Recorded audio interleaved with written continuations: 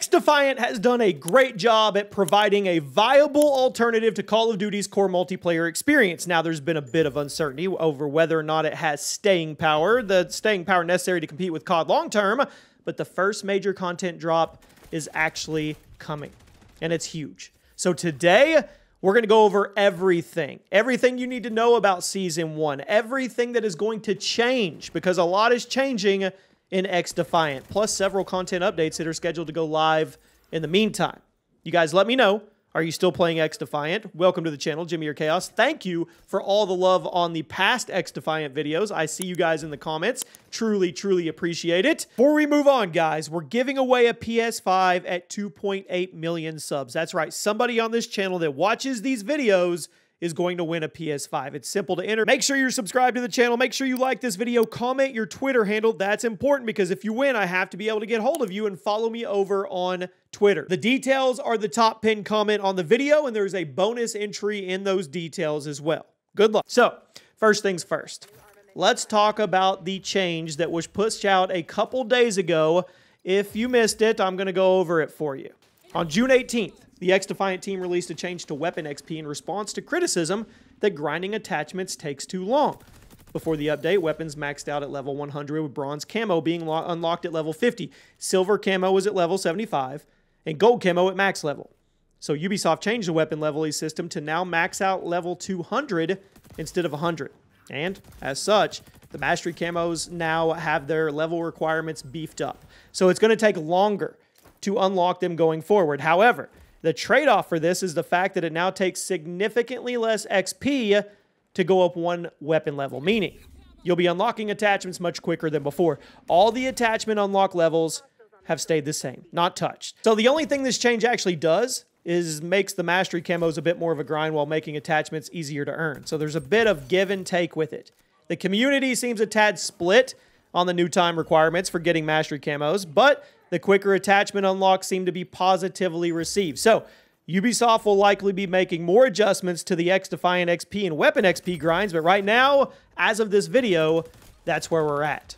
Also coming before the Season 1 update is a brand new game mode, Team Deathmatch, which has been heavily requested since launch. It's funny I say brand new game mode, TDM.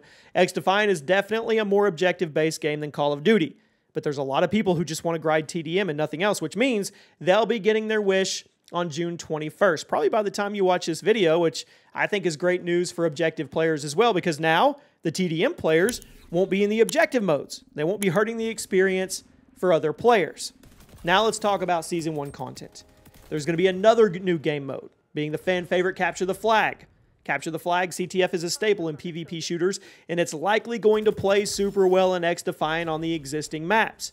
It's most likely that CTF will be played on the Domination and the Occupy map rotations as opposed to the Escort maps, which honestly I think that's a pretty good thing. But I'm excited to see how this mode actually plays in X Defiant. I always thought CTF was one of the most engaging and grindable game modes in Call of Duty and Halo, so I'm hoping they capture that fun factor and it's going to be carried over for everybody in X Defiant. Speaking of maps, let's talk about that. We not only know how many new maps will be added with Season 1, we also know their names. According to official sources, Season 1 will feature three new maps, those being Clubhouse, Daytona, and Rockefeller. All sound like they're going to be really fun, uh, fun settings. The maps in XDefiant are excellent so far. They're super fun throwbacks to other Ubisoft franchises, which was brilliant. From the looks of it, Daytona will be based on the crew, and Clubhouse will be based on the Rainbow Six Siege map of the same name. But it's unclear which franchise Rockefeller will be based on, although it's, it's, it's possible it's not based on a franchise at all and it's just a cool new original concept from the team. We'll have to see. When I think Rockefeller, I think money. Ubisoft has confirmed we'll be getting one new map per month, seemingly starting with Clubhouse on Season 1's launch day, then Daytona the following month, and then Rockefeller month 3. I think it's a good way to split up the content without actually burning people out, so I'm good with this release schedule. Let me know if you are. There's also going to be a brand new faction added to X Defiant with the launch of Season 1 on day 1 and that is the GSK from Rainbow Six Siege. Given Siege's popularity still, it's not shocking that Ubisoft is going to lean into this and add it quickly, and it's going to bring a lot of new skins. There's also confirmed to be 90 tier battle passes coming with the launch of Season 1. Now, the exact content hasn't been revealed in its entirety, but I'm willing to bet there is going to be a lot of Rainbow Six related cosmetics for everyone to grind. Given how much the GSK and the Clubhouse are being featured in the Season 1 marketing, it's going to happen. So far, three characters from GSK have been confirmed as character skins. Blitz, Jaeger, and IQ. So long-time Siege players are probably going to be smiling as they grind through to unlock them. Now, the porting of Clubhouse over to XDefiant does raise a few questions in the community as to how Ubisoft is going to be handling maps from other franchises.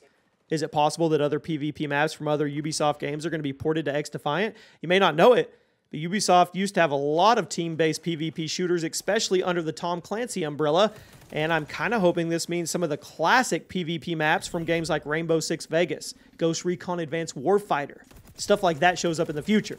It's not confirmed, but it's possible. If the Clubhouse remake is anything to go off of, although I feel like I should point out that it's very unlikely Clubhouse and any other map remakes are going to be one-to-one recreations due to the fact that X Defiant is a very fast-paced 6v6 arcade shooter, and the team will likely have to make a few layout changes in order to make the map flow better, but none of it's confirmed, but it's fun stuff to think about. And in case you didn't catch this before, the Season 1 update is going to go live on July 2nd. So just a couple weeks from the time you're watching this video. So you've got time to finish up the preseason battle pass, but you don't have that much time. So make sure you get those last few tiers up before it actually gets here. Now let's talk about the biggest change. I think it's the biggest change for Season 1. The full launch of Ranked Play, which has been teased ever since XDefiant came out. Ranked Play's full details will be revealed on July 1st, the day before the launch of the season, but we do know a few things already. And if you guys want me to cover the launch of the season, let me know in the comments. There's going to be multiple tiers for you to grind, just like other PvP games. There will be even official top 500 ranking group for you to try and reach with your buddies. That's smart.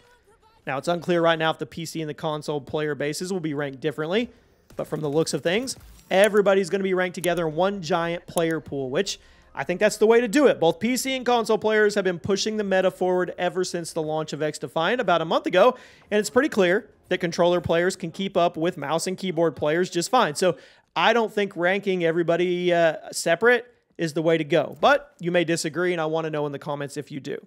It's also very likely that Season 1 will come with some highly requested changes to weapons. So far, Ubisoft has not released any balancing updates to guns, and I can understand them wanting to hold on to any gameplay changes for the big Season 1 update. Now, nothing is 100% confirmed yet, but don't be shocked if there's buffs and nerfs. If I had to guess, I would say the AK-47 will be nerfed. The snipers are going to be reworked a little bit, and every shotgun other than the M870 will probably be buffed because they're in desperate need of help. And speaking of guns, the last thing being added with the Season 1 is three new guns. The sawed-off shotty, the L115 sniper, and the LVOAC assault rifle. I'm sure the community will be happy to get some new shotguns and snipers in the mix, but adding yet another assault rifle seems kind of odd to me. I mean, granted, assault rifles are the most popular weapon class in the game right now, so it makes sense to add more, but I don't think I'm the only one who would like to see some more LMGs, pistols, things like that getting thrown into uh, the sandbox.